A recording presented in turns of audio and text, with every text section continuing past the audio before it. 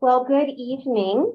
I'm going to give a little bit of an introduction for our Hebrew school students just to explain a couple things about what we're doing. Who's noticed this room before? Everybody's noticed this room before. What have you noticed about this room? What, what have you noticed, Moira, about this room? That there are what? That there are words at the top. What do they say? And there was no one to speak up for me. That comes from a piece that was written actually from by a uh, minister who wrote about when he saw neighbors suffering and different groups who were victims of prejudice and discrimination. Oh, I don't have to worry about it I'm not one of them. I don't have to worry about it I'm not one of them. I don't have to say anything. I don't have to speak up because I'm not one of them. And eventually, he was imagining that one day it could happen that people could be prejudiced and discriminate against him, but because he didn't stand up for anybody else, there would be nobody to speak up for him.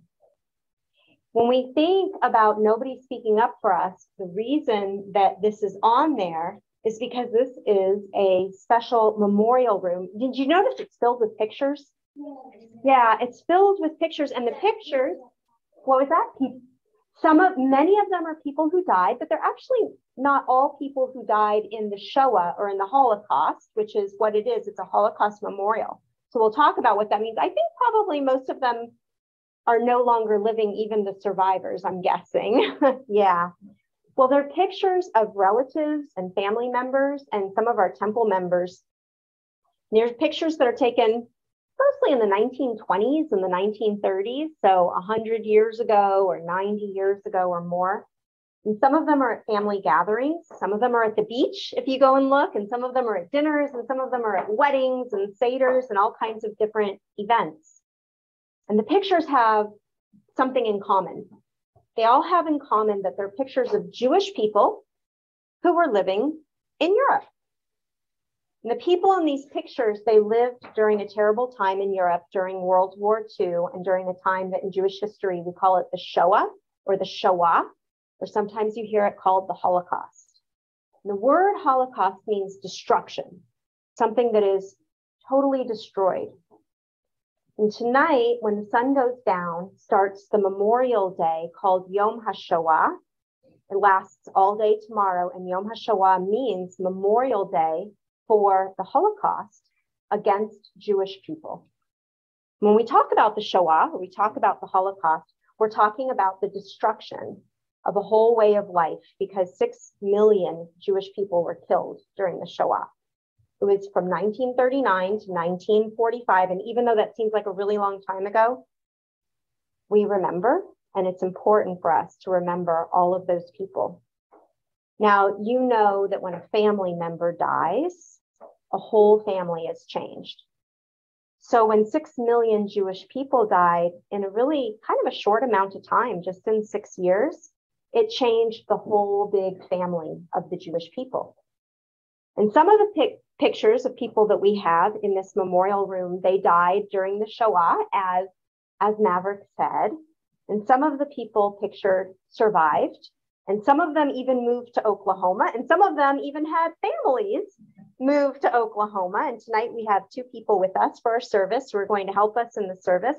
And they had family members who survived the Holocaust and also family members who were killed during the Holocaust.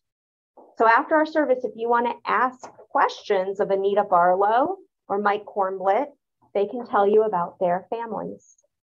So these are pictures from before the Shoah. The people didn't know in these pictures, they didn't know that there was going to be such a terrible time in Europe. They mostly knew that there was really bad discrimination against the Jewish people from some of the people in government, maybe from some of their neighbors, but they figured that it was going to be okay. Some of their friends who were not Jewish knew that there were other people who were prejudiced against the Jewish people, but they liked their friends and they thought it's going to be okay. The people with a lot of prejudice and a lot of discrimination ended up coming into power and being in the government. They were part of a political party that was called the Nazis. You heard of the Nazis? Who's heard of the Nazis? Some people have and some people have not. Some have and some have not. Well, when the Nazis took over power in Germany, then because they were in the government, they had an army and they had control of the police and they spread their bad feelings against Jewish people, even though the Jewish people didn't do anything. Eventually, it meant that if you were Jewish, you were in danger because of the Nazis and because the government was officially against Jewish people. So there were a lot of regular people who were just living their lives and they didn't question the discrimination because it was coming from the government and they thought, well, it's probably, I don't know, right? Or okay. So today, as Yom HaShoah starts, we remember that discrimination and prejudice hurts people. And today we remember that all the people in these pictures and all their family members and all the 6 million people who were killed and who died and the people, oops, and the people whose lives were changed forever when they survived, all the Jewish people in the Shoah, they were precious. Each individual person, just like each of you, is precious. And they were normal. They had favorite flavors of ice cream. And sometimes they yelled at their brother. And sometimes they won a swim meet. And sometimes they got a C or a D in school.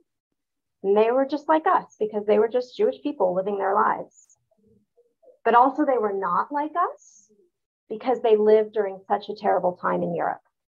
When we remember them, we remember how important it is to be kind to all people, for the people who weren't kind to them, and to stand up when others are being bullied, for their friends who saw what was happening and they didn't say anything, right? Just like it says above the room.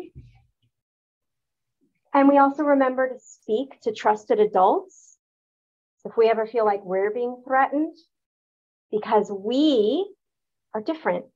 We live in a country that says that Jewish people and people of all religions and backgrounds should be safe and respected. So our service is going to begin on page 522. Remember, in those brackets, the blue page numbers. And we're going to light six Yizkor candles. Yizkor means memorial, and these candles are going to burn for all of Yom HaShoah as memorial candles for those who died. And Anita Barlow and Mike Kornblit are going to do that for us.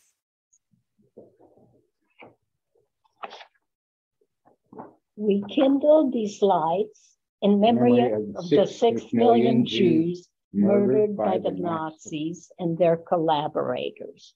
May the memory of the righteous be a blessing. Zikrahon Livraha. So each one of these six candles represents a million people so that we have the light for six million. Sometimes you might see that at home, somebody lights a Yizkor candle, a memorial candle on the anniversary of a loved one's death. Because the light of the candle is like the light of the soul of our loved one. Did you have a question?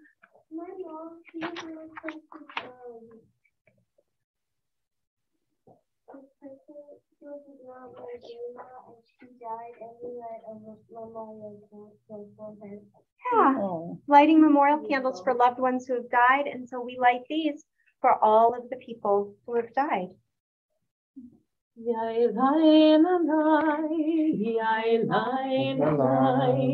Lai lai. Yai lai lai lai. Yai lai lai.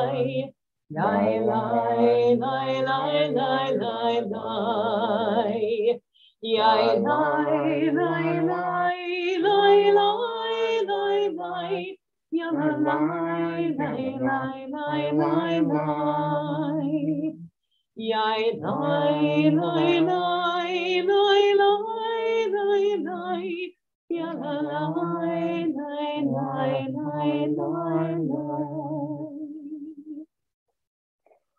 A little garden, fragment and full of rose. The push is narrow, and the little boy walks along it. A little boy, a sweet boy, like the growing blossom. When the blossom comes to bloom, the little boy will be no more. when we see terrible things or when we're afraid and we're not sure why things are happening around us, sometimes we wonder, where's God? Or we think, maybe God could be doing more to help us.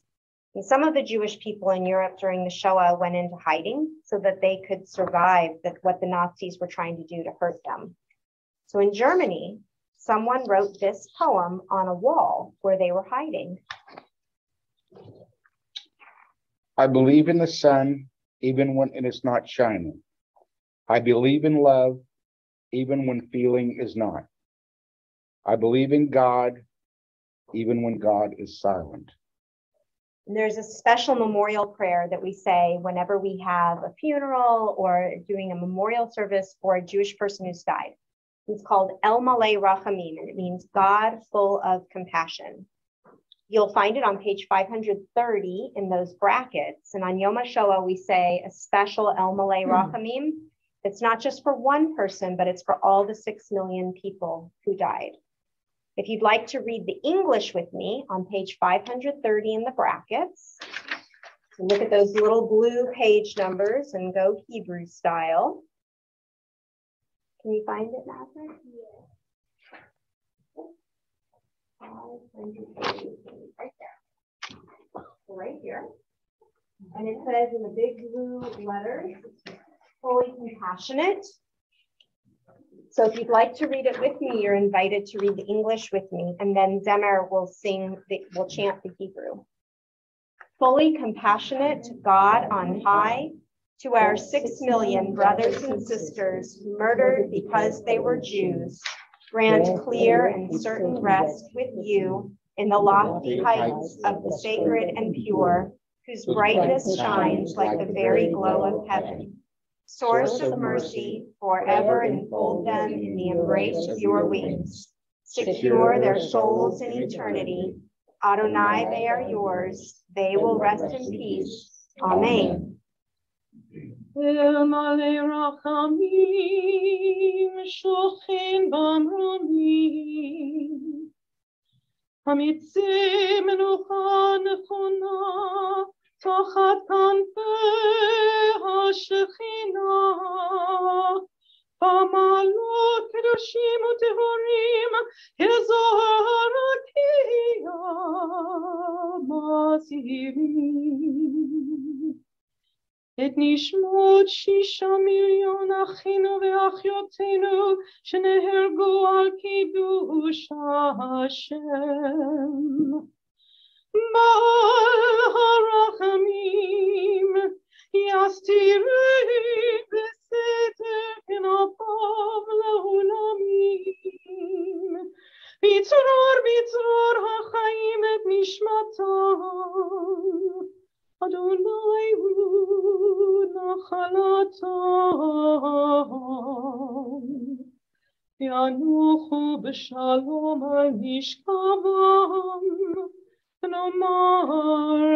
Amen. On the next page, on page 533 in the brackets, we also have a special mourner's Kaddish for Yom HaShoah. Elie Wiesel was a very famous author and speaker who taught about the Holocaust and ethics and the importance of being kind and respectful to all people, and that respecting others also means speaking up and helping them when they're hurting or in danger or being discriminated against. So, in between the words of this special mourner's Kaddish, there are the names of different places where Jewish people were forced to go and live, and for many of them, to die during the Shoah. Jewish people did not get to choose where to live or work once the Nazis took over. We cannot say the names of all the six million people who died, but we can remember that they were real people in real places when we say the Kaddish to show God and also to show each other that we remember and that we'll do everything we can to fight against discrimination and prejudice. So we're going to continue with this special mourner's Kaddish. And for the mourner's Kaddish, I'd like to ask you to please stand. It's on page 533. And for this time, Anita Barlow and I are going to recite this Kaddish because it's a little bit different. But if you get the rhythm of it and you want to join, you certainly can. Yitkadal, Auschwitz, Yitkadash, Lodz, Shmei Rabbah, Ponar, Alma Divra Hirute, Babi Yar, V'yamlich Malachute, Majdanek, V'chayechon Uv'yomechon, Birkenau, Uv'chaye Dechol Beit Yisrael, Kovno, V'agala Uv'izman Kariv, Janowska, V'imru Amen, Yehe Shmei Rabbah Mevorach Leolam Ormei Almaya, Yitbarach V'yishtabach, Theresienstadt, V'it Pa'ar V'it Romam, Buchenwald, V'it Naseh V'it Hadar, Treblinka, Vita Le Vita Lal, Vilna, Shmei Dekudasha Brichu, Bergen-Belsen, Le oh. Le'ela. Oh. okay, Mauthausen. Now it happened. Mauthausen, Min Kol Birchata V'Shirata, Dachau, Tushbechata V'Nechemata, Minsk, Damiran Ve'alma, Warsaw, V'imru Amen, Yehe Shlama Rabba Min Shemaya V'Chaim Aleinu Ve'al Kol Yisrael, V'imru Amen, Oseh Shalom B'Mromav, Hu Ya'aseh Shalom Aleinu Ve'al Kol Yisrael, V'imru Amen. So to close tonight, we're going to sing a song on page 531 about believing in God even when things are hard, even when they are confusing, painful, or frightening. And after we sing, before you go home tonight, you're invited to look at the pictures in the memorial. And if you have any questions that you want to ask any of us one on one, you can come and ask us questions. Page 531. Ani mamin, ani mamin, ani mamin. Ve'emuna shlema,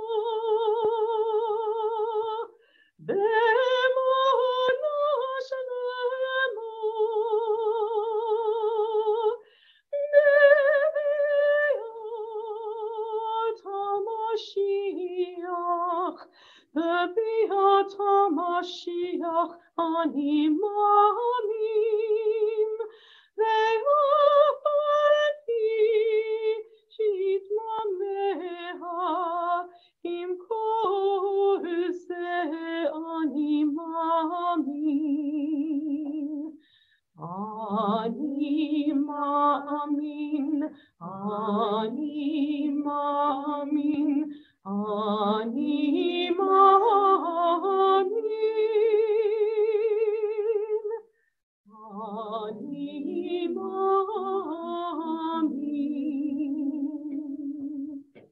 I believe with perfect faith in the Messiah's coming.